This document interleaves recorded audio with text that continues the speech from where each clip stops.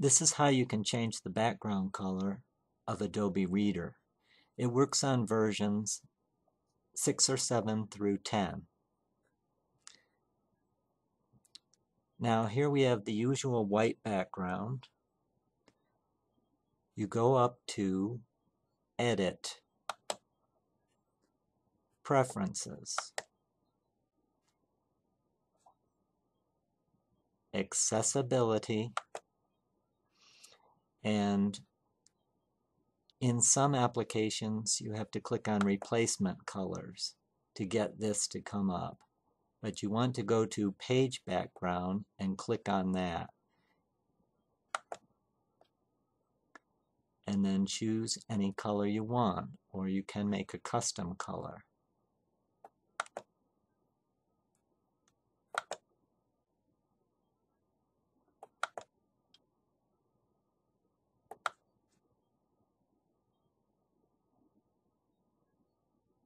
I'll use this, I'll use this a strong color so you can see that you can make it as pale as you want. I like kind of a beige color in the background, but that's whatever your preference is. Select that color. OK. Down here, OK. And there you have the color. That's all there is to it.